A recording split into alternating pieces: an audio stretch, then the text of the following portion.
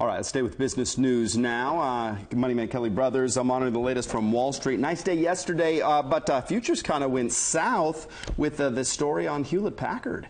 Yes, indeed. That's a big one. I, you guys did take my advice when I said invest in Twinkie futures last week, didn't you? Uh, that hopefully worked out for you. The market today, though, uh, going down, giving back a little bit of the gains yesterday. 200 points to the upside yesterday.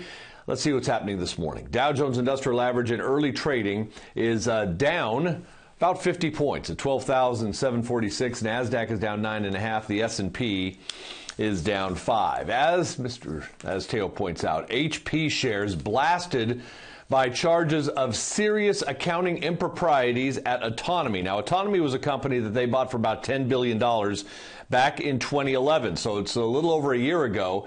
Uh, immediately thereafter, their CEO resigned. His name was Leo Apotheker, and he took off after that. And there was some uh, talk then that there was something going on and that that company did not have, uh, that valuation was not justified for autonomy. Well, it turns out that there were a lot of serious accounting improprieties. It turns out it's going to go to the SEC. It's being investigated. The bigger story here is that HP simply cannot get positive news. Everything they do, there turns out to be some negative spin on it, and that stock was down about 12% in pre market trading. Guys, back to you. All right, yeah, very important company there in the Bay Area. See what happens. But you're right, no good news. My goodness. And they still have a presence in Roseville as well, too. Yeah, they certainly do. Thank you, Kelly, so much.